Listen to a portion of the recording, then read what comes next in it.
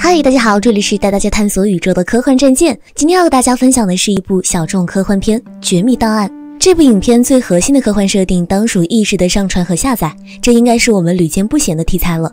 但如果意识可以下载到不同的躯体中呢？那又将发生怎样的故事？我们还是一起来看片。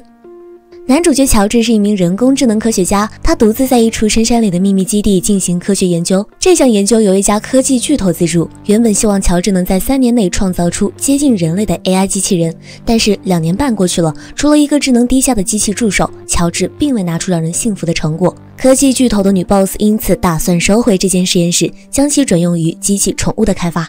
事实上，乔治已经有了新的研究成果。他已经暗中研发出了三代不同的机器人，它们分别是一号、二号、三号。每代机器人都有着不同程度的智能。一号的智能大概相当于五六岁孩童的水平，它没有手臂，不懂语音，看上去不太像智能机器人。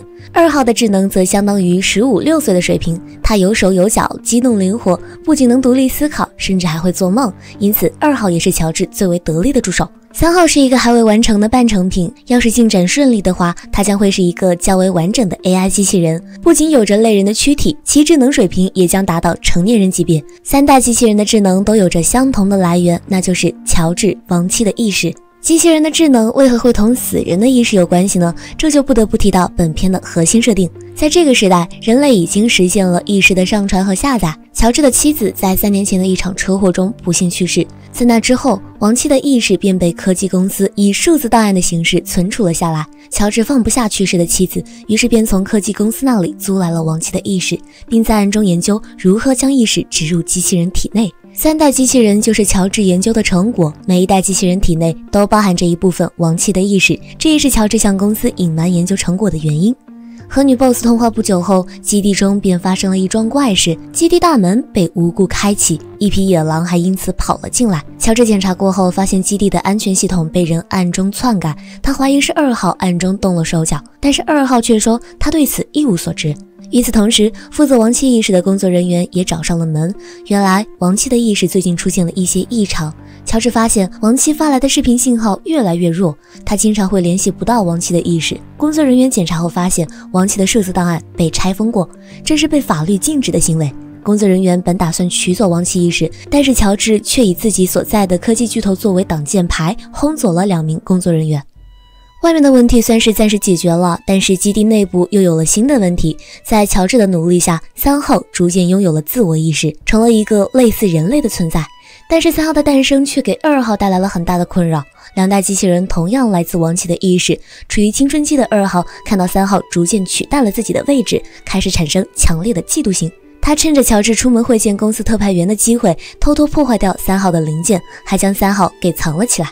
等到乔治回到基地时，才发现基地内部似乎有人闯入，三号也不翼而飞。心急如焚的乔治调度无人机，对整片山林展开了大搜索，然而最后却一无所获。出人意料的是，乔治回到基地后，却在物品架上发现了三号。一番询问后，乔治这才得知，原来是二号将他藏了起来。得知真相的乔治十分生气，他让二号进入休眠模式，还将二号的双腿截了下来。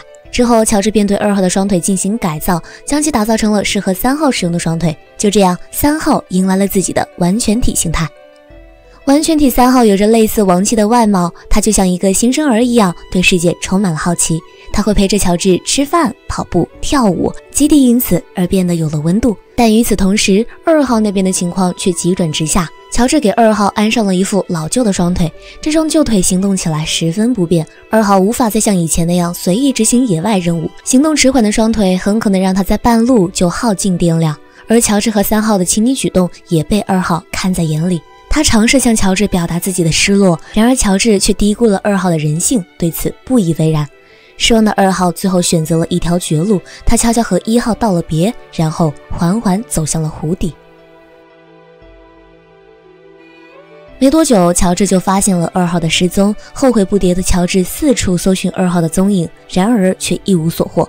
最后，只好将二号最爱的物品收集起来，埋进了坟冢。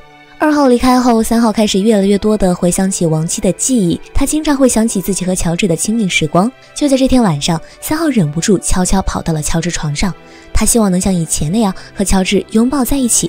然而，乔治清醒过来后，却生气地将他赶了出去。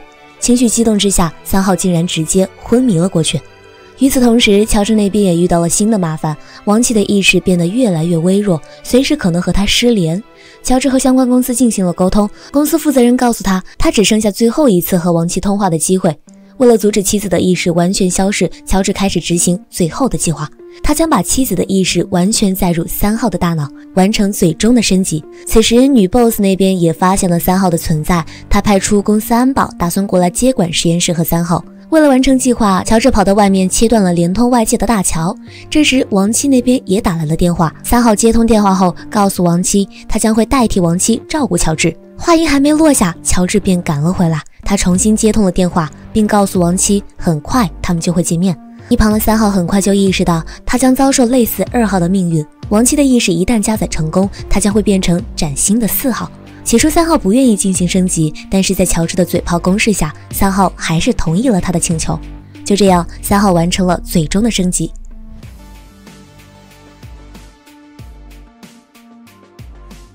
三号重新醒来之后，乔治开心的以为妻子已经实现了重生。然而，就在此时，电话却再次响了起来。三号让他不要接听，乔治还是忍不住拿起了话筒。电话那头是妻子的声音。妻子告诉他，乔治的系统即将到期，这将是两人最后一次通话。乔治听着电话那头的声音，怅然若失。原来，在车祸中死去的并不是妻子，而是自己，他才是那个生活在数字档案中的人。妻子完成了他的最后一次通话之后，便离开了公司，影片也就此结束。